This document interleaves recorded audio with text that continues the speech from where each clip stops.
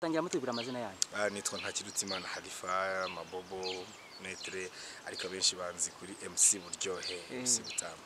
MC buryohe abantu benshi bakunda ku, ku, kuvuga ko baryohereza. Eh, donc ibi bintu ubikomora hehe Ah, ibi ni impano. Imana iratanga nyine Imana iraguha nimugura.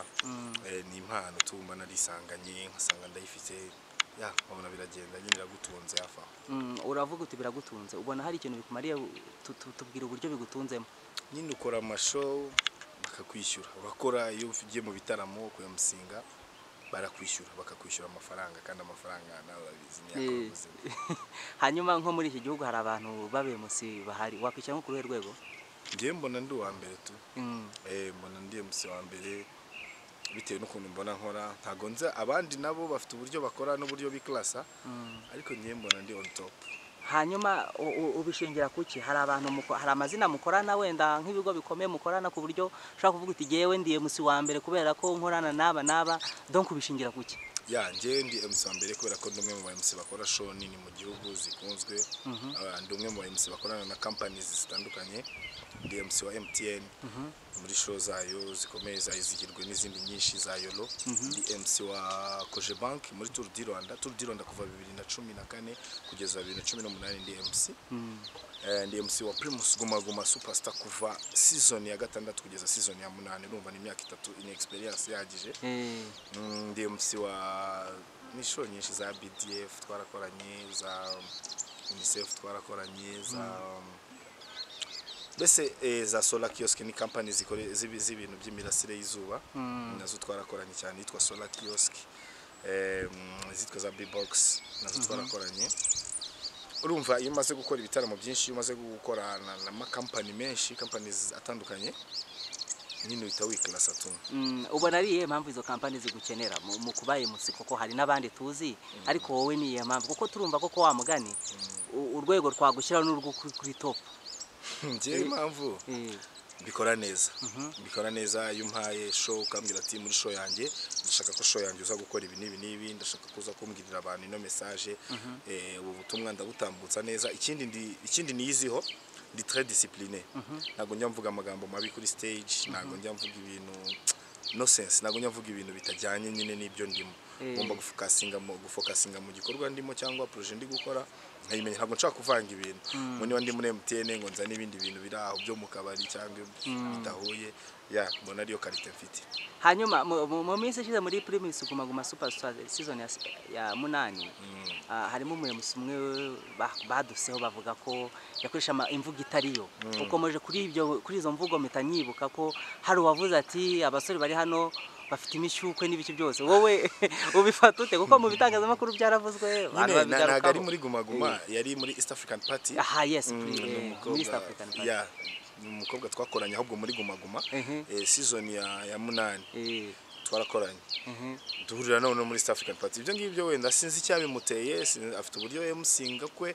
Nanjye mfite ukuntu namusinga kwanjye. Tu niyo mpamvu nahereyeho nkubwira ngo ikintu niziho ni ndi très discipliné eh no ikinyabupfura cyanjye mba nkihagazeho ijana ku ijana. Eh, eh, ha- hanyuma ubu ngubu kuri ubu ngubu uri hehe. Utari muri eh, mu- utari kwemusinga muri bitaramo bitandukanye muri show zitandukanye ubu uri hehe umuntu yakubonera hehe? Ha ubu ngubu muri iyi minsi ndi kubarizwa kuri Flash. Ndi ndi umunyamakuru kuri Flash FM mu kiganiro cyitwa The Blitz ndi gukorana n'umukobwa witwa Bianca. Mhm. Ariko nkora no kuri TV ikiganiro cyitwa Flash Mix nanone umukobwa ni we turi gukorana eh, The Blitz bashobora kunsangaho kuva kuwa gatanu kuva kuwa mbere kugeza kuwa gatanu. Saa cyenda kugeza saa kumi n'imwe kuri televiziyo. Mvuga ngo iyo ntari mu mirimo yanjye y'ubu njya kuri televiziyo nkakora Mm. Eh, hanyuma eh, umuntu akurebye ntabwo ndamenya niba uri umusore cyangwa uri umugabo. Dusa nk'utubwiraho ubuzima bwawe busanzwe. MC buryohe ni babita ingaragu. Ndi siribateri uri aho nyine wenda nibigenda neza imana nibikora. Mu- minsi iri imbere cyangwa mu myaka iri imbere nzajya- nzabona bibaye. Mu myaka iri imbere ni Eh. ukuvuga iki? Kuko ushobora kutubwira uti mu mwaka wenda wa bibiri na cumi n'icyenda mfitemo poroje yo gushaka. Bibiri na makumyabiri ndayifite. So mu myaka umuntu ashobora gutegereza akazaheba njyewe icyo nzi cyo nuko nzi ko nzashaka gusa. Eh. Mm, ntabwo nzasaza ndi jyenyine nintapfa mbere Eh. imana ikantiza ubu- ubuzima. Eh. nzashaka umufasha tu. Oh, hanyuma gusa ariko mfite umwana. Mm. mfite umwana umwe w'umukobwa yitwa Kay ntabwo aba mu Rwanda. Mhm, abana na mama we muri USA mhm, eh, ni we bagiye kwibera. Mm. wumva utazabasangayo oya Mm. nkunda u Rwanda cyane. Nkunda u Rwanda kubera ko mu- Rwanda ndi MC mwiza. Eh. ntacyo mbaye nda- igihugu cyanjye ndagikunda pe. Nkunda no kuvuga inshuro nyinshi ndi kuri stage. Mu Rwanda rwacu ni uburyo he Republika ikansubiza. So mba numva ari uburyohe nyine mu Rwanda nta kintu kimwe mbuze Eh. Mm. hanyuma ubwo se bivuze ngo mama w'abana ni ni- birumvikana muzagera igihe mu- umubwira uti ngwino mu rwanda rwaba mu Oya, buryohe mama w'abana. Cyangwa, eh? mama w'abana. Eh. Nyine hari ukuntu biba bitaragenze neza hari ukuntu biba bitaragenze neza ariko ntabwo bimbuza kuba ndi papa w'umwana ni ni umuntu wanjye wa hafi ungira inama Mm. ya nta- bintu byinshi nzashaka ubundi uramufasha se umwana umwana Mm. nta kintu ahubwo we yamfasha Eh. kuko abayeho neza kundusha we Eh. ameze neza kundusha Eh. Eh, ni na byo nishimira Mhm.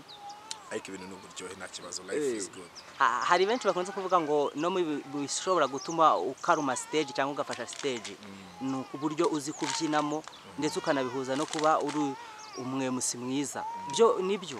Nibyo cyane kubera ko Mm. aba bose dufite ikintu duhuriyeho. Ngo niba uri MC uw'amagambo gusa nta kindi kintu nta wundi mwihariko ufite menya ngo wasigaye. Eh, ubu ubu uri MC ariko wenda ufite ubushobozi bwo kuba watera joke abantu ukabasetsa. Uri MC ufite uburyo ushobora kubwira DJ wawe ufite ako kanya ngo agushyiremo beat ukaba flowingira ukabaririmbira so turi umuhanzi.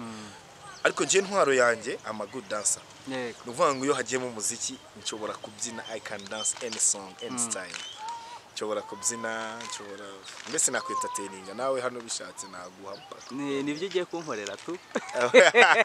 Kuko abantu bashobora kugira ngo ni amagambo. Umuntu turi kumwe. aha turi. Eh. ntabwo nabyina amakuru. Eh, nta bushobozi dufite bwo guhita dushyiramo umuziki nta na beat ihari. Ariko byi- byibuze ushobora kutwereka akantu gashobora gutuma umuntu avuga ati koko uyu muntu arashona.